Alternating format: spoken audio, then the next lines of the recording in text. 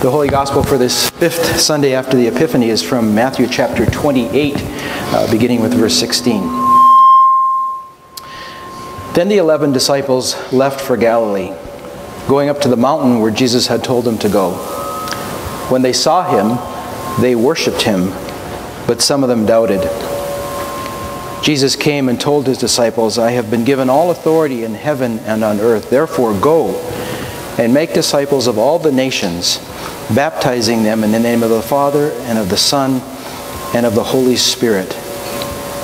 Teach these new disciples to obey all the commands I have given you, and be sure of this I am with you always, even to the end of the age. This is the gospel of our Lord. Praise to you, Lord Christ. You can be seated.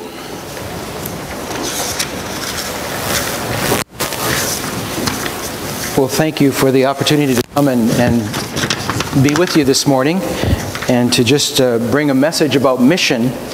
Uh, I'm glad to be here on a Sunday when CLBI students are here. Doing in the lives of young adults who know Him and who love Him, who are opening their hearts and their minds and their lives to the possibilities that God has for them. I think they are the future. I pray that God will turn each one of them into kingdom provocateurs, people who go out and change the world uh, for the Lord Jesus. Thanks, Greg, for the invitation. Um, this morning we want to focus, as Pastor Greg said, on mission. We're going to come back and share Lord willing, in June, uh, more specifically about the work of World Mission Prayer League. Is it me or is it that? Okay. Um, we'll come back in June. By that time, uh, Pat and I will have traveled to China and Mongolia, and uh, depending on how, things go in Sochi this week, maybe in, into Russia. We'll see.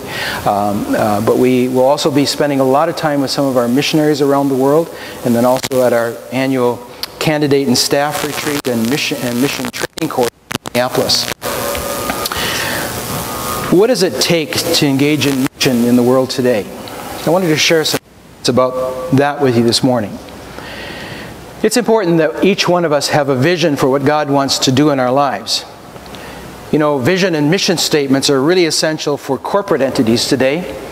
But it's also important that if we have a mission and vision statement, whether it's an organization like World Mission Prayer League or it's a, it's a bank, it's important that we do what our vision and mission statement says we do. And I've actually been in some corporate buildings and corporate offices sometimes where the vision and mission statement is so vague, so benign, that they could do nothing and still fulfill their vision and mission statement. And so we want to be specific about what the mission and vision is for God's people. And so this morning I want to just touch on four things. First of all, if we are to participate in the mission of Christ in the world, we need to know Christ. Secondly, we need to be praying about the advance of His kingdom. And thank you, gentlemen, for coming up and praying for these young adults. Thank you, Greg, for praying for them. That is what is going to stir them, that is what is going to move them, that is what is guiding the hand of God's church and mission around the world. Then we need to get at it. We need to share the gospel. And we need to share ourselves with those who don't know the Lord Jesus. And then finally, we need to encourage each other. We need to encourage Christians everywhere in this global task. So I want to focus on those points this morning. First of all, what does it mean to know Christ? What does it mean to know Christ? We read in the gospel lesson the Great Commission. It is a co mission. It is a mission that God has invited us into by His grace. We are partners with God in mission. One of the things that I think it's important for the church to, to, to, to look for in the world is where is God working? And then we must go and join Him in His work. But we need to know the Lord Jesus to be able to do that. We cannot share what we do not know and have not personally experienced for ourselves. In writing to the church in Philippi, Paul said, But whatever was to my profit, I now consider loss for the sake of Christ. What is more, I consider everything a loss compared to the surpassing greatness of knowing Christ Jesus my Lord, for whose sake I've lost all things. I consider them rubbish, that I may gain Christ and be found in him not having a righteousness of my own that comes from the law, but that which is through faith in Christ, the righteousness that comes from God and is by faith. I want to know Christ. I want to know the power of his resurrection, and I want to know the fellowship of sharing in his suffering, becoming like him in his death, and so somehow to attain to the resurrection from the dead. There, Paul talks about what it means to know Christ, to know the power of the resurrection and the fellowship of participating in his suffering. Paul was a religious man. He was a Pharisee of the Pharisees. He spoke Hebrew eloquently. He said, in terms of keeping the law, he was flawless. And yet, God, in His infinite wisdom and grace, had to strike Saul of Tarsus down on the road to Damascus and open his eyes to not a religion, but a relationship. And Paul said, I want to know Christ, I want to be found in Christ. And God is on a journey to find people all over the world. His Holy Spirit is active, knocking on the doors of our hearts and our minds. And it's important that we respond to Him by grace. I uh, graduated from CLBI, well, I won't tell you how long ago it was. It was a long time ago. Uh, Greg was there. It was a long time ago, wasn't it, Greg? Yeah. I, I, would say I've had a wonderful life of, of, uh, of education, of postgraduate studies, but I would have to say that my, my most intense time of learning was at CLBI, where we spent two years in the Word of God. And I remember during that time we had some pretty amazing speakers and teachers as these young adults are experiencing these days at CLBI as well. And I remember one year there was a there was a pastor who came. He spoke to us on the book of Romans. It was actually a, a, week set aside called Fellowship Week, and it was a week of focus. This pastor came and spoke on Romans, and then he also touched on Paul's words to the church in Philippi. That man later became my father-in-law. He was my wife's father, who was a missionary home on furlough and who came to teach us at CLBI. And I remember his words. I, I don't remember very much of what he said other than this, but it stuck with me. And indeed, it stuck with many of us that week who today are in full time ministry cross culturally and in the church here in North America. He said this The greatest discipline in all of life will be found in Christ, will be to be found in Christ, not in my righteousness, but in His. Not in my righteousness, but in His. Last spring, a man by the name of James Nestingen came to CLBI to teach, and I remember one evening he was speaking very informally. And here's a man with a PhD in theology. He just said, To have faith, we have to step outside of ourselves, and we have to make Jesus the object of our affection. This is about the power of Jesus within us. To know Christ is to know Him personally. And that does not for one minute deny the effect that we have when we bring our little ones to the fountain in baptism, but it's important that we stay plugged in in this relationship to know Christ personally, to know the power of the resurrection, to experience for ourselves that Jesus died for our sins and rose again so we would never have to pay the penalty of sin, which is death. And that each one of us are given the gift of grace for forgiveness now, an abundant life now, and eternal life forever. This is the good news that we share with a world that is waiting to hear the hope that the Lord Jesus offers. We want to declare the power of the resurrection. And if you don't know that, you can't share that. So, first of all, we need to know Christ. We also need to know that this comes with a package deal. In one of the songs we just sang, I think there was a line that said something about if I lay down my life. You see, God calls us to experience the power of the resurrection, but He also calls us to experience the fellowship of sharing in His suffering. As we worship here today, openly and freely at Grace Lutheran Church, our brothers and sisters around the world, particularly in the majority world today, many of them are suffering for their faith. Some of them are sitting in prison in countries like Ethiopia. We have no, a number of Ethiopian friends who have been in prison for their faith. Uh, Eritrea today is one of the most closed and isolated countries on the planet. There are literally hundreds of people in prison there today for one reason their faith. Last spring, one of the churches that we relate, last fall, one of the churches that we relate to in Pakistan was attacked on a Sunday morning, and 75 believers in Jesus were killed as extremists came against them. This is what we can expect in a world that stands in opposition to the Lord Jesus.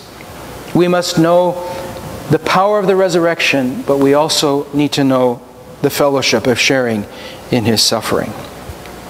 This last week, these young adults had a wonderful teacher with them, Dr. Andy Bannister, who's the chief apologist for the Ravi Zacharias International Ministries. One of the things that I appreciate about Andy is the fact that although he's brilliant, he's an Oxford scholar.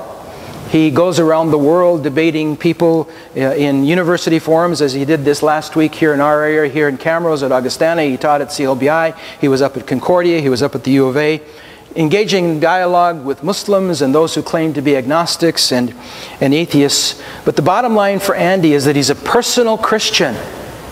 He knows Jesus personally and he knows why he believes. A number of years ago, I had the opportunity to, to talk to Dr. Ravi Zacharias, uh, Andy's boss, in Chicago at a conference, and I remember asking Dr. Zacharias, so what's the bottom line in reaching people from other faiths? What's the bottom line in reaching out to people who are Muslims or Hindus? And I never, I'll never forget what Dr. Uh, Zacharias said. He said, There's two things. You need to know why you're a follower of Jesus. And you need to be able to share that with people. And the second thing is, you need to love people as Jesus loved them.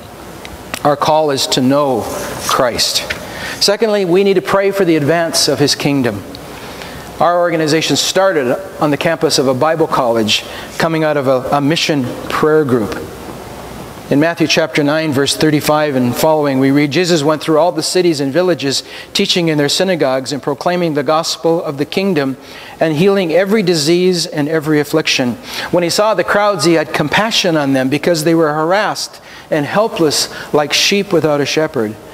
Then he said to his disciples, The harvest is plentiful, but the laborers are few. Therefore, pray earnestly to the Lord of the harvest to send out laborers into his harvest field. Greg mentioned this morning that we are a Lutheran missionary sending agency, but beyond that, we are a Lutheran prayer league. We are a group of about 7,500 people scattered across North America who have concerted together and actually agreed with one another that we would pray about the advancement of the kingdom of God. Because we've discovered over the last 75 years that there's no better way to get at the work of the kingdom than to pray about it. So, prayer is our working method in mission. As we pray, God hears as God hears, His Holy Spirit acts. And He raises up people to go, and He raises up people to send those who go. He opens doors as we pray against what's against our workers. God brings down strongholds and doors that we never imagined would open in places like China today and in southern Siberia and Mongolia have opened and we've been able to walk through those doors as people prayed. Last spring, we spent some time in Mongolia celebrating the 20th anniversary of an organization there. We found out during those days that people in Sweden began to pray that the door in Mongolia would open up in 1920. In 1922, Mongolia became the second communist nation in the world. 70 years later, it became a democratic nation, and a year after that, the doors to the gospel opened. And today, the church is not only surviving in Mongolia, it is thriving because God's people prayed. And then we have to get at the work, don't we? We need to share the gospel, and we need to share ourselves with those who do not know the Lord Jesus. It's about proclamation, and then it's about demonstration. It's the word, it's sharing the gospel in word and in deed. In James chapter 2, and of course, James was the good bishop and pastor at the church in Jerusalem, he declares a twofold focus on mission. And our mission in the church needs to be kind of bifocal for those things that are immediately around us in towns like Camrose and those needs that exist in the interior of Afghanistan or the northwest frontier of Pakistan. James said this Dear friends, do you think you'll get anywhere in all of this gospel if you learn all the right words but never do anything? Does merely talking about faith indicate that a person really has it? For instance, you come upon an old friend dressed in rags and half starved, and you say to them, Good morning, friend, be clothed in Christ, be filled with the Holy Spirit, and then you walk off without providing so much as a coat or a cup of soup. Where does that get you? Isn't it obvious that God talk without God acts is outrageous nonsense? James goes on to say, Oh, I can already hear one of you agreeing and saying, It sounds good to me, so you take care of the faith department and I'll handle the works department. Not so fast. You can no more show me your works apart from your faith than I can show you my faith apart from my works. Faith and works, works and faith, they fit together like a hand in a glove. And that comes from the message translation of the good news. We need to declare with our mouths that Jesus Christ is the Lord of the universe and the only hope for our world. We need to declare with our mouths that Jesus is the way and the truth and the life, and that no person comes to God the Father except through Jesus Christ. And then we need to put that into action. Greg mentioned that Pat grew up in Pakistan. She grew up in an area called the, Khyber, uh, the Pakhtun Khyber uh, uh, province, which used to be called the Northwest Frontier Province, close to the border of Afghanistan. This is Taliban country today, and we still have a hospital operating there. I remember Pat's mom for years had a, ran a little clinic uh, close to that Afghan border. And back in the 1980s, when the Russians had occupied Afghanistan, uh, refugees spilled over the border from Afghanistan and into, into Pakistan, literally by the millions. And some of them came to her clinic. And on one occasion, she had the, the happy duty to distribute some of those quilts that some of you women in this church, I'm sure, have made through the years. Quilts that are distributed by Canadian Lutheran World Relief. And she shared with us about one old man and his family who came uh, through the line and received a quilt and received some food. And he said to her, Why are you doing this? You're not one of our people. You're not from our country. Why are you doing this? And Pat's mom, who went to be with the Lord this last year, was able to share with this old Pakistani man the love of Christ constrains us. The Lord Jesus has called us to share the good news that He is Lord, but to also demonstrate the good news as we do works of mercy around the world. This millennial generation is a generation that focuses on justice. They want to see things happen in the world. They want to see things change. They want to see the disenfranchised included in society again. They want the poor to be released. They want the gap between the rich and the poor to be narrowed. That's part of the work of the kingdom as we declare with our mouths that Jesus is Lord and demonstrate with our hands that God loves people and He wants to take care of them. In Micah chapter 6, verse 8, God asks the prophet, What does the Lord require of you, O man?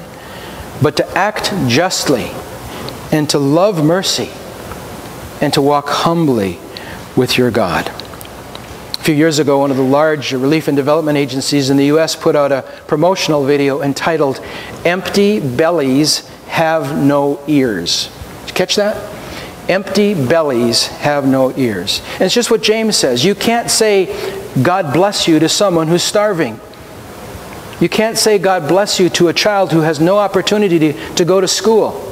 You need to feed them. You need to build schools. And in the context of that, be Christ and make Christ known with your mouth and with your hands. And finally, then, we need to encourage each other in this global task around the world. We've discovered that we can't do this work all by ourselves, so we've engaged in the joy of partnership around the world. And that means for us crossing denominational lines, maybe even putting aside, some of, aside a few of our Lutheran distinctives and joining hands with believers from around the world to do what we cannot do on our own. And we found this a, a very encouraging task. And we found many, many opportunities to encourage other believers in this task uh, as well. As a prayer league, we need to work with a lot of different kinds of Lutherans to raise up the next generation of goers and senders around the world. One of the things that we try to do within our own fellowship is to encourage people through prayer groups Here in Camrose, we have two young adult prayer groups that meet. One's called Prayer for the Nations, the other is called Waffles in the World. They meet at our house. It's young families. Pat and I take care of their kids while they pray upstairs about some country of the world or some focus in the world. And we have those prayer groups in Saskatoon and out in Abbotsford and here in Camrose. And we need to encourage one another in our prayers. When I think of this next generation of kingdom workers, sometimes they're kind of quirky. Sometimes they don't look like I do. They didn't come dressed this morning in a suit and a clerical collar, you know? You see, God doesn't care what your t shirt looks like, He cares what's in your heart. And so we need to encourage the next generation of kingdom workers to go and make disciples of all the people groups, baptizing them in the name of the Father and of the Son and of the Holy Spirit, and teaching them to obey everything that I have commanded you. And remember, I'm with you always to the end of the age. Oftentimes, when some of my friends and my peers who are I'm beyond 60, Greg, uh, come and tell me and wring their hands about this next generation. I just say to them, you know, friends, if you can't get on the way with them, just get out of their way because they're moving forward with the gospel and we need to encourage them as such. We need to encourage people everywhere in God's church to hang in there, to not just survive, but to thrive and to move forward in mission. Because, as Paul said to that young church worker Timothy, God has not given us a spirit of fear, but a spirit of power and a spirit of love and a spirit of self discipline. Would you pray with me? Father God, we thank you so much that you put on flesh and came to us in your Son when we, in our best efforts, never could have reached you. Thank you, Jesus, that you have given us the gift of grace, the gift of forgiveness, so that we can live abundantly now.